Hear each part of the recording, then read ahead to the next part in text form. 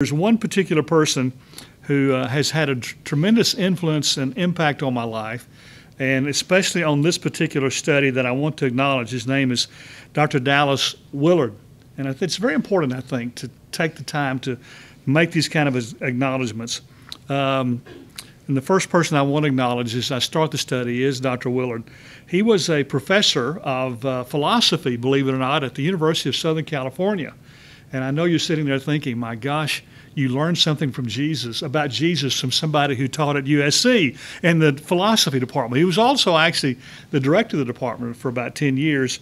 Um, he made his transition uh, into the heavenlies uh, in May of 2013.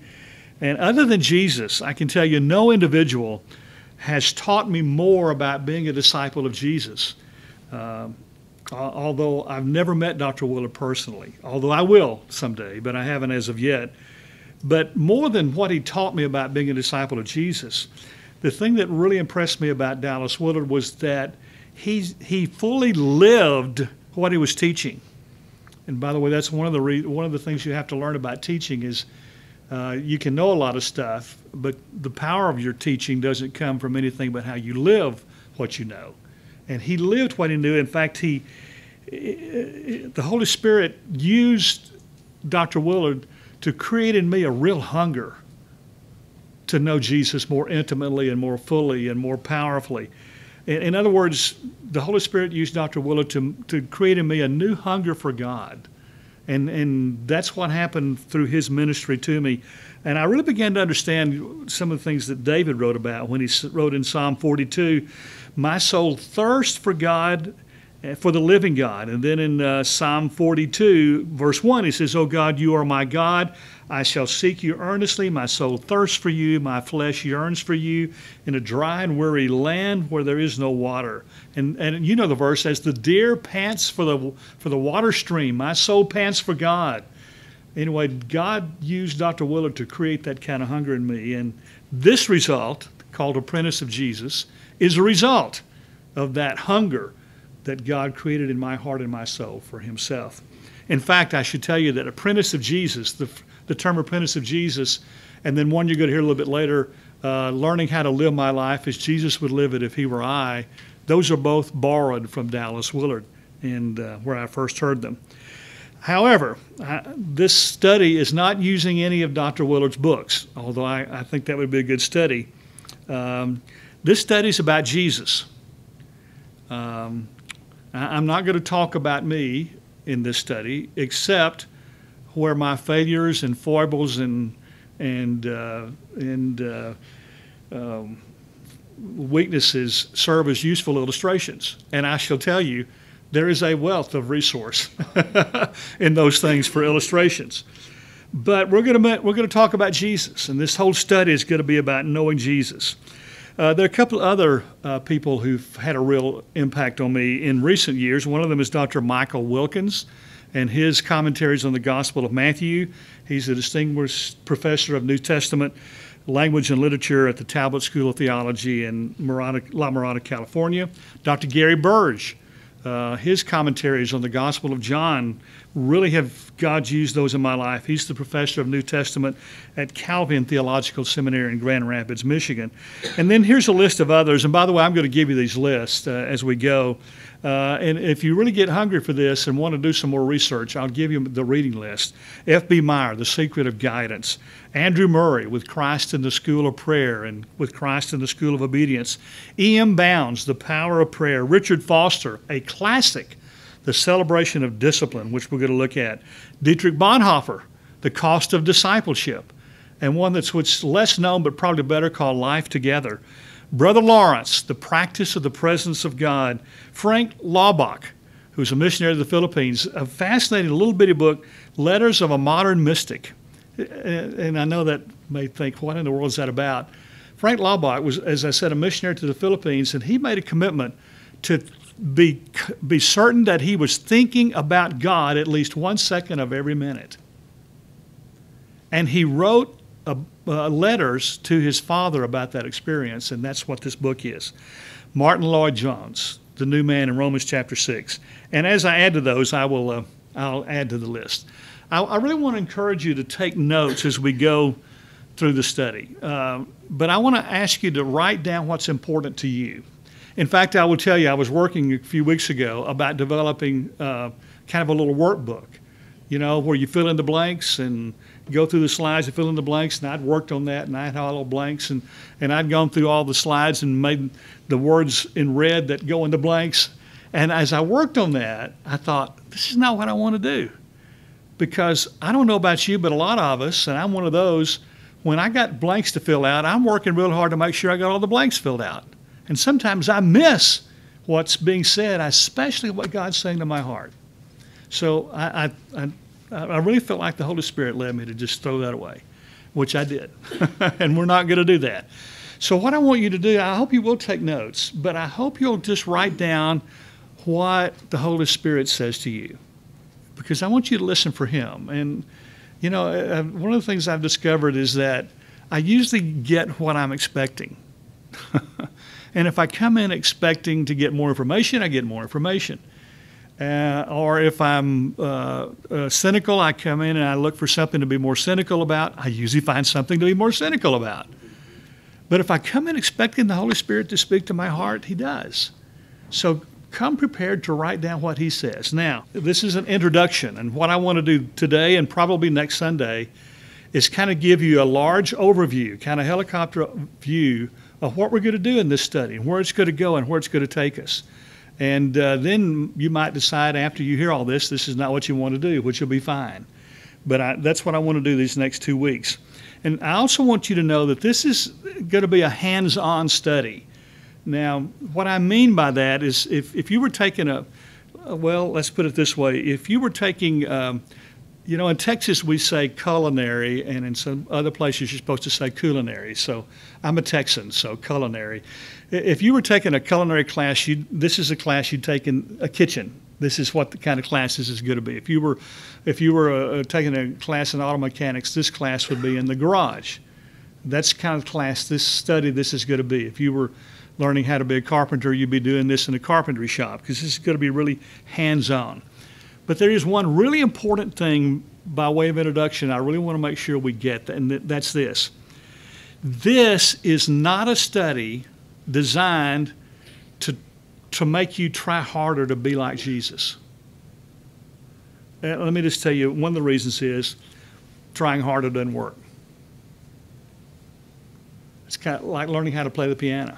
I mean, you, you can sit over there on that piano and try hard all day, and it's not going to work. And living to be like Jesus, trying harder doesn't work. So this is not a class to get you to try harder to be like Jesus.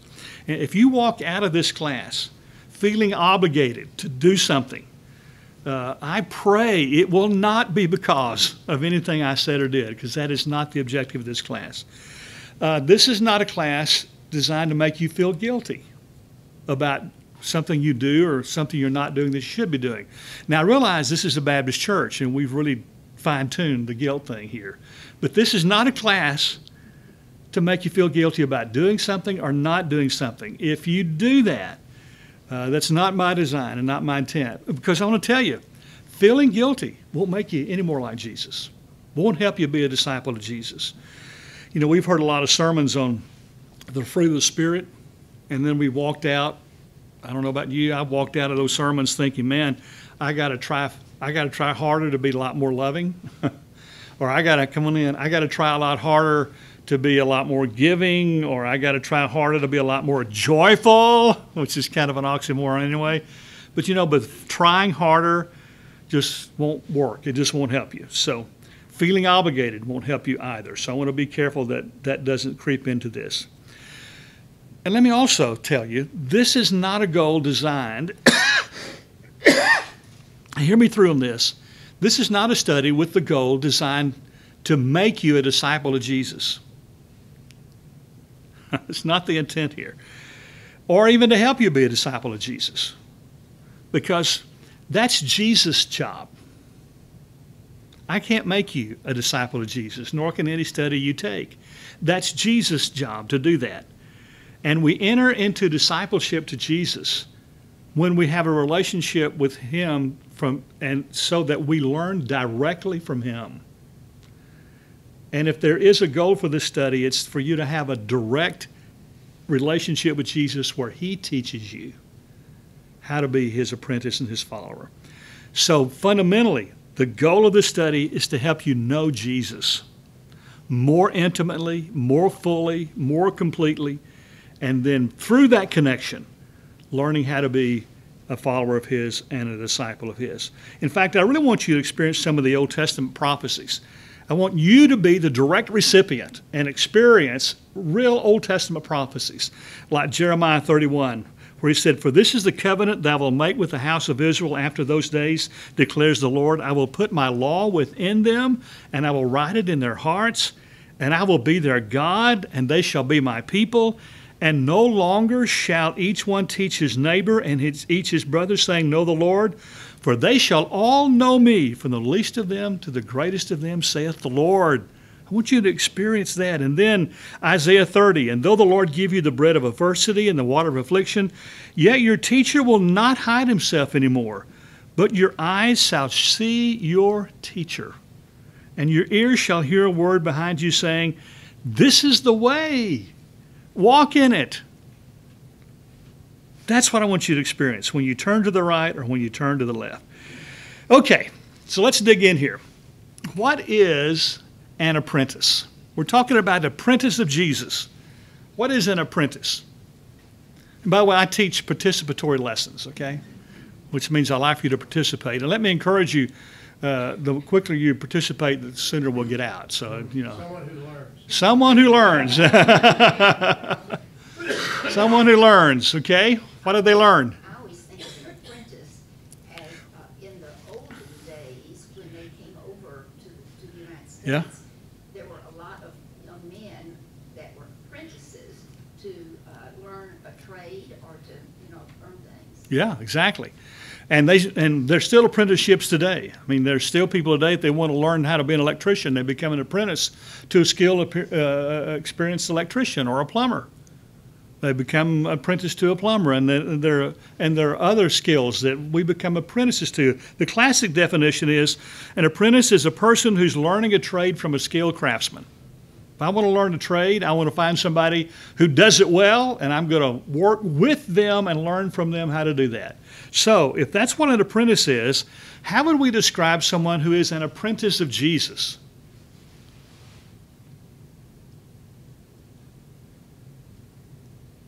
What are you going to learn from Jesus? Learning what he did and how he handled situations. Yeah, situations. How I handled what? Life. Exactly. I would say this an apprentice of Jesus is a person who's learning how to live life from an expert liver of life. In fact, this is the definition I like the best.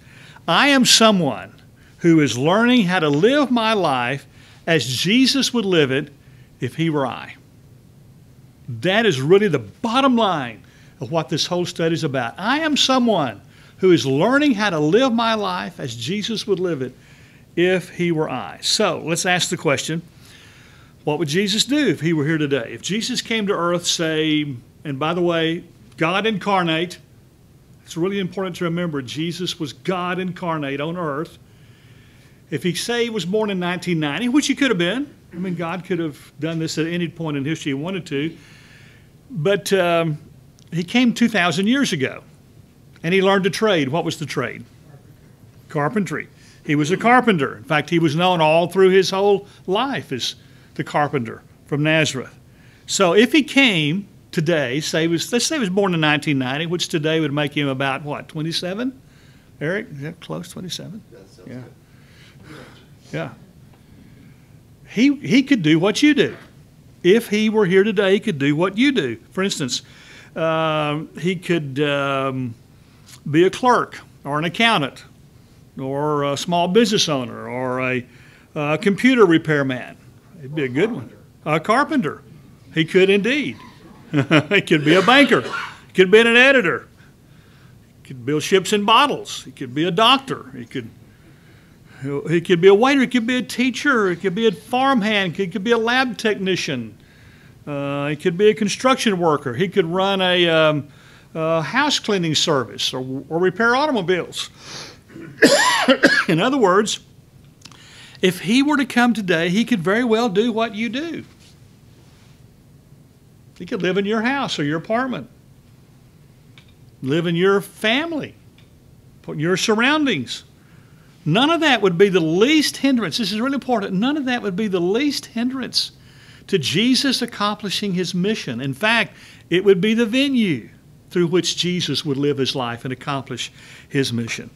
I like what Dr. Willard said. He said, Our human life, it turns out, is not destroyed by God's life, but it's fulfilled in it and in it alone. And by the way, I will quote, because of Dr. Willard's influence, I will quote Dr. Willard frequently. In fact, times when I'm not aware that I am. so if I don't give him credits because I'm not aware that I'm quoting him. So if Jesus did what you do, how would he do it?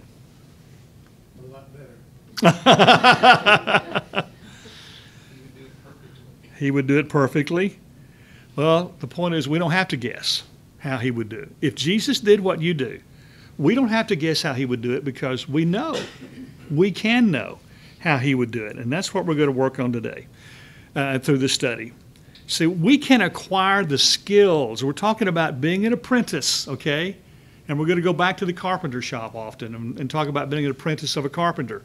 But we can acquire the skills to live our lives as Jesus would live them if he were us, any one of us. We can acquire those same skills. That's what an apprentice is about, remember? Acquiring the skills of an expert craftsman. We can acquire the same skills that Jesus had when he lived his life.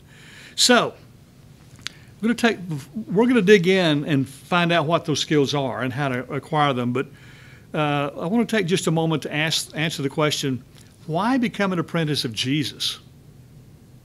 I think it's important to understand why we pick Jesus to be an apprentice of in our life.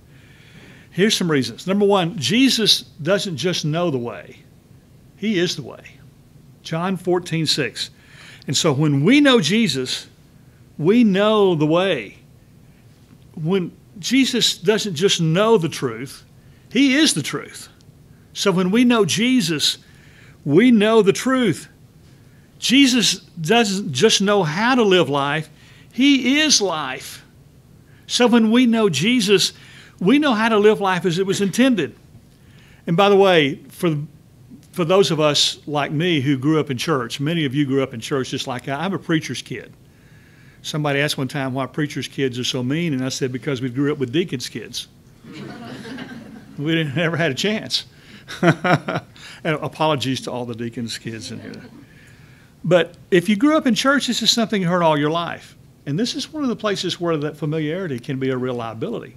For instance, every human being, every one of us, has the basic problem of knowing how to live. We all have the problem. Most of us don't learn how to live very quickly. I mean, we all know the old saying that we are, uh, we grow, uh, how much if I can get it here? We grow too soon old and too late smart. And those of us who've gotten older recognize how true that is. See, we know how, we have the problem of knowing how to live, and we don't solve that problem by ourselves very well. In fact, we really struggle with it. Uh, we've had a while at it, actually, and we're still not doing it very well. I mean, if you if you doubt that, just listen to uh, the news to get the latest mayhem de jour. and uh, you know quickly that uh, I mean, I mean, your response is, "What's going on here?" The Bible says that in Jesus' day, He had compassion on the people because they were sheep without a shepherd. I got to tell you, sheep without a shepherd are in a whole lot of trouble, and that's where we are we're in a whole lot of trouble. Well, Jesus came into that scene in his own day, and he comes into the scene in our day, which is still his day, by the way. And he says, Come unto me, all ye that are labor and heavy laden, and take my yoke upon you. Why? Yoke is easy, and the burden is light. And by the way, we're going to learn what that means and how to, we're going to learn how to enjoy an easy burden, an easy yoke, and a light burden because we walk with Jesus. But Jesus has put in place a process which results in human beings who know how to live life. with an easy yoke and a light burden. That's what this is about. Well, a little quick little exercise. Let's make a list of the smartest people who've ever lived. Who would you put on your list? Smartest people you can think of ever lived. Pardon? Einstein? Whoop, hang on, messed it up here. Einstein? Natalie, I don't know how to spell Einstein. How do you spell Einstein? That's not it, is it? it's not misspelled. Einstein. okay. Okay, Natalie? How do you spell Natalie? Who else? Stephen Hawking. Who? Stephen Hawking. Stephen Hawkins? Yeah. H I K I N G. Okay. Who else? Michelangelo. Oh, come on. Y'all give me some something easy to spell. Can't read my writing, so you don't know if I spelled it right or not, do you? That's why I scribble. Nobody knows. Who else? Who you got? Jesus. Ah, Jesus. Solomon too. Yeah, Solomon. I um, uh, in in the past more frequently than now, but I used to speak frequently to to groups of businessmen, and I would always ask. Well, not always, but I usually ask this question: Give me a list of all the the smartest people you can think of ever lived. And I got to tell you, only once in 15 years did I ever hear anybody say Jesus. Isn't that amazing? I'm going to propose to you that Jesus is the smartest person who ever lived. And I'm going to tell you that Jesus knows more about medicine, he knows more about biology, he knows more about fi- finances, he knows more about business, electronics, about psychology, about physics. I mean, just go anywhere you want to go. Jesus knows more about it than anybody who's ever lived. How can I say that? Well, for several reasons. One of them, Paul mentioned in Colossians chapter 1. He said, For by him all things were created, in heaven and on earth, visible and invisible, whether thrones or dominions or rulers or authorities, all things were created through him and for him. And I got an idea that the person who made all this stuff knows more about it than anybody that's ever lived. So, whatever you're doing, whatever your calling, whatever your vocation, whatever your field of service or ministry or work, I got to tell you, Jesus knows more about it than anybody who's ever lived and who will ever live. That's a good reason to be an apprentice of Jesus. In fact, faith could be defined as believing that Jesus is right about everything. Because he is. Second reason why I'll be an apprentice of Jesus is because Jesus is the most successful person who's ever lived. How can I say that? Listen to what listen to what Paul wrote about him. He said, Therefore God has highly exalted him and bestowed on him the name that is above every name, so that the name of Jesus every knee should bow on heaven and on earth and under the earth, and every tongue confess that Jesus Christ is Lord to the glory of God the Father. You cannot be more successful than that. And I got to tell you, none of these guys on our list are going to ever get there. Right? They're never going to get there. Third reason this is not the most interesting man, nor is this. This is. This is the most interesting man who's ever lived. Why can I say that? Because he doesn't just know about love, he is love. In fact, he loves us so much it hurts. He is the good shepherd, which is why we never have to want. Psalm 23 1 says what? For the Lord is my shepherd, I shall not want. You know, we pass over that so quickly and so easily. We're going to spend some time in that verse, by the way, in a, in a few weeks. But, you know, that ought to just blow your mind right there. The Lord, the one who made all this and for whom it's made and through whom it all consists, Colossians 1, the Lord is what? He is my shepherd. How incredible is that? I shall not want. What does that mean? I shall not want.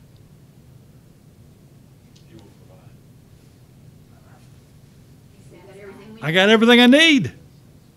I, I try to begin my day with Psalm 23 and the Lord's Prayer. In fact, I try to I try to think about them before I even get out of bed. In fact, at four o'clock this morning, I was laying in bed. The Lord is my shepherd; I shall not want. And I was thinking about it, and that's what David talks about: meditating on the Word in the night watches. And I was thinking, I, I mean, it, if you think about it, it blows your mind. The Lord is your shepherd.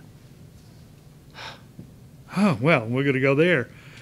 He restores our souls. Psalm 23 1. He restores my soul.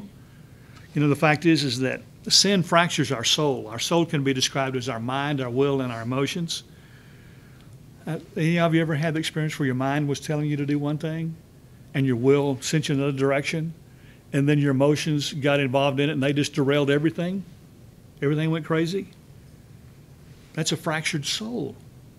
That's the destructiveness of sin. Sin fractures our souls. Jesus restores our souls. You know what that means? It means He puts our mind and our will and our emotions all on the same track, going the same direction, with the same goal and purpose. You know what you call that?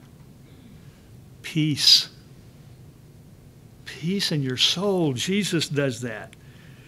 He's the perfect prototype of the future. You want to know what future is going to be like? You want what eternity is going to be like for you? Jesus. He's the most interesting man. So why Jesus?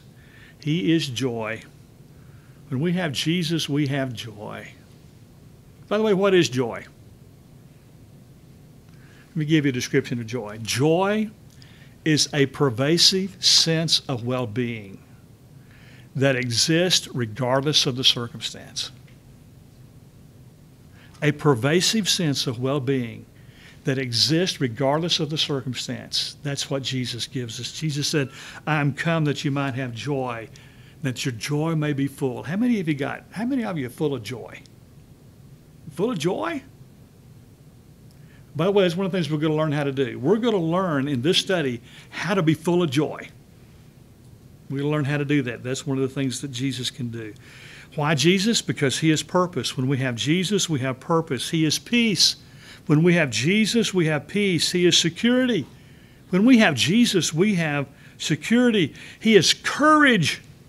When we have Jesus, we've got courage. He's satisfaction. When we've got Jesus, we can be satisfied. He's confidence. When we have Jesus, we can be confident. He's the bread of life. He is the very essence of life and living. Those are reasons to be an apprentice of Jesus. Let me ask you this, and I'm stopping right here. What would the world give? What would the world give to have joy and purpose and peace and security and courage and satisfaction and confidence? What would the world give? He got all those things when he got Jesus. And those are great reasons to want to learn how to live life from Jesus, right? So that's what we're going to do. Next, next uh, Sunday, we'll start with this. Someone who's new to the field, learning the skills needed for the job. Next Sunday, we're going to dig in on what skills we can learn from Jesus on how to live life. And then we're going to move on to learning those skills. Okay? Any comments, additions, corrections? If not, the lesson will stand approved as taught. By the way, as we go through this, there are probably going to be some things I'm wrong about. The problem is, I won't know I'm wrong. so I want to tell you, I want to learn. I'm as hungry to learn as anybody in the room. So if I, we go along and I'm wrong about something, teach me because I want to learn. Let me, let me close with this. The Lord, the Lord bless you and keep you. The Lord cause his face to shine upon you. Amen.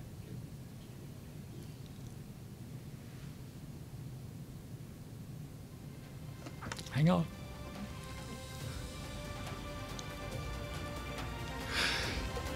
We're going to spend a lot of time with this too. Okay.